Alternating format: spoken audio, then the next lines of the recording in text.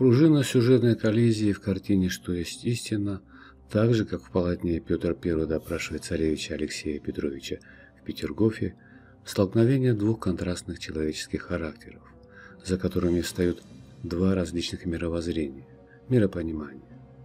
Биполярная система мира картины строится на антиномиях материального и духовного начала, односторонности и глубины, силы и слабости, света и тени.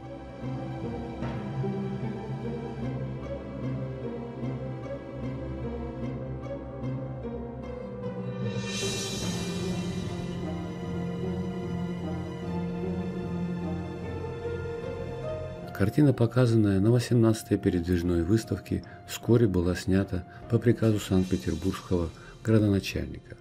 Оберпрокурор Святейшего Синода Константин Победоносцев обратился к Александру Третьему с письмом.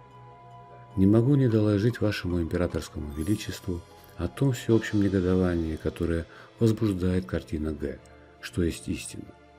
Художник имел в виду надругаться над образом Христа, Богочеловека и Спасителя. На полях письма Победоносцева Александр III написал «Картина отвратительная» и повелел снять ее с выставки и запретить возить по России.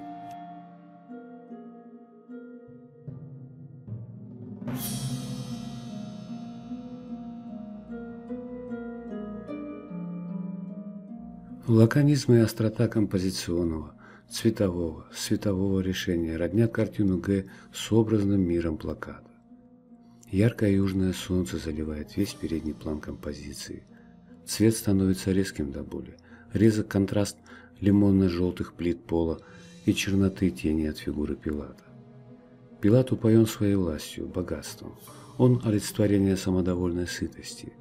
Художник изобразил прокуратора Иудеи со спины – подчеркивая ее плотность, скульптурность. Резок и выразителен жест его руки с растопыренными пальцами, обращенных к Христу. Пилат вопрошает, что есть истина? Этот человек в таинственном полумраке тени и есть истина. Истина скрыта от глаз Пилата. Он протягивает руку, но не может ее коснуться.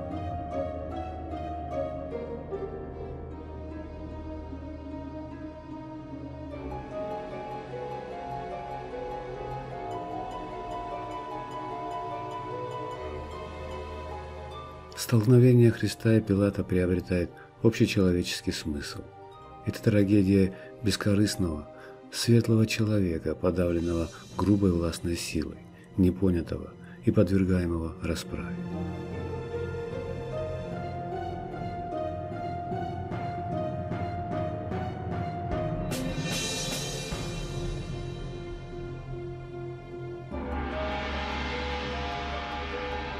Скандальная судьба картины и экспрессивная, казавшаяся в то время публике неряшливой живопись, заставили Павла Третьякова воздержаться от ее приобретения в свою галерею. Тогда страстным адвокатом Г. и его картины выступил сам Лев Толстой. Он отправил Третьякову довольно резкое письмо. «Выйдет поразительная вещь. Вы посвятили жизнь на собирание предметов искусства, живописи, и собрали подряд все для того, чтобы не пропустить в тысячи ничтожных полотен то, во имя которого стоило собирать все остальное. Вы собрали кучу навоза для того, чтобы не упустить жемчужину. И когда прямо среди навоза лежит очевидная жемчужина, вы забираете все, только не ее. Для меня это просто непостижимо. Простите меня, если оскорбил вас, и постарайтесь поправить свою ошибку, если вы видите ее чтобы не погубить все свое многолетнее дело. Про содержание моего письма вам никто не знает.